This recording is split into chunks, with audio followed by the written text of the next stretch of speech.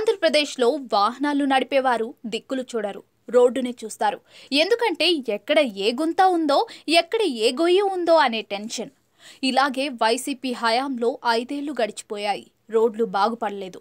ఎన్నికలకు ఒక ఏడాది ఉండగా విమర్శలు విపరీతంగా పెరిగిపోవడంతో అప్పటి సీఎం జగన్ కొన్ని రోడ్ల మరమ్మతులు చేపట్టారు. కానీ అవి అనుకున్న స్థాయిలో లేవు.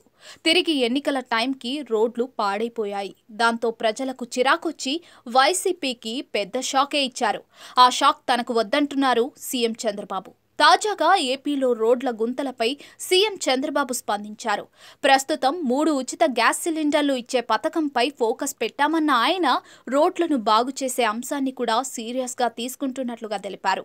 నవంబర్ ఒకటి నుంచి రోడ్ల మరమ్మతులు ప్రారంభం అవుతాయని యుద్ధ ప్రాతిపదికన ఈ పనులు జరుగుతాయని తెలిపారు.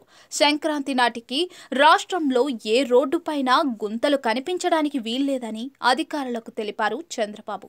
ఆర్ఎండ్బి పరిధిలోని రహదారుల్లో గుంతలు పూడ్చడానికి ఆరు వందల కోట్లు ఇచ్చామన్న ఆయన అవసరమైతే మరో మూడు వందల కోట్లు ఇస్తామన్నారు. అందువల్ల సంక్రాంతి నాటికి ఏపీ రోడ్లు అద్దాల్లా మారిపోకపోయినా కనీసం గుంతలు లేకుండా ఉంటాయని ఆశించవచ్చు.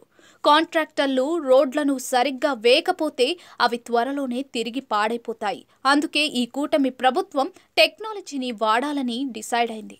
డ్రోన్లతో రహదారుల పరిస్థితిపై సర్వే చేసి రోడ్లు వేశాక కూడా పరిస్థితి ఎలా ఉందో డ్రోన్లతో చెక్ చేయబోతున్నారట. అంటే ఇది వైసీపీ స్కూళ్ళ కోసం నాడు నేడు తెచ్చినట్లుగానే సీఎం చంద్రబాబు రోడ్ల కోసం నాడు నేడు తెస్తున్నారని అనుకోవచ్చు.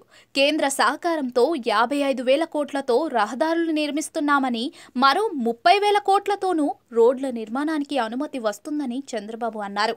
అయితే కేంద్రం ఇచ్చే నిధులతో జాతీయ రహదారులే ఎక్కువగా నిర్మించే అవకాశాలైతే ఉంటాయి. రాష్ట్రంలో రోడ్లకు రాష్ట్ర ఖజానా నుంచి ఖర్చు చేయాల్సి రావచ్చు. అయినా కూడా సీఎం మాత్రం చాలా కాన్ఫిడెన్స్తో ఉన్నారు. కారణం కేంద్రం భారీగా నిధులు ఇచ్చి ఆదుకోవడానికి గ్రీన్ సిగ్నల్ ఇవ్వడమేనని తెలుస్తోంది. నిజంగానే సంక్రాంతి నాటికి రోడ్లు బాగుపడితే ప్రజలు హర్షిస్తారు. లేదంటే కూటమి ప్రభుత్వం వచ్చినా కూడా రోడ్ల తీరు మారలేదని అనుకుంటూ ఉంటారు.